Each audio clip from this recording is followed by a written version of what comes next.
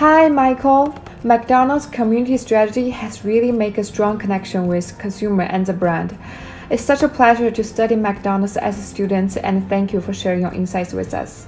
Hi Michael, keeping a consistent brand voice is so crucial in today's society and it's because of leaders like you that McDonald's can continue to be one of the best global brands in the world.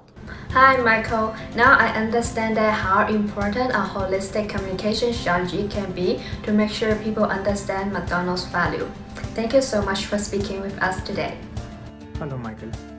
Your approach to ensure effective translation of McDonald's refreshed purpose is truly inspiring.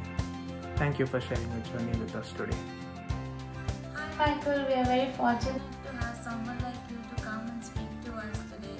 It's an honor to be able to learn and to have insight into the leading company